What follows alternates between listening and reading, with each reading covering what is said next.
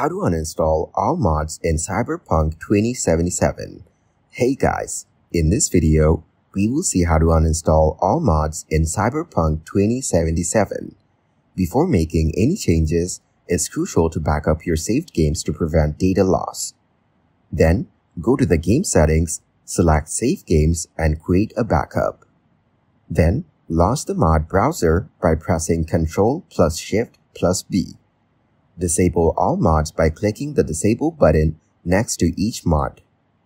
Still in the mod browser, click the Remove button next to each mod and confirm the removal. Now open your game launcher, go to the game's properties, and select Verify integrity of game files to ensure everything is in order. If you want to reinstall mods later, re-enable the mod manager by pressing Ctrl plus Shift plus B and clicking the Enable button. Thank you guys so much for watching.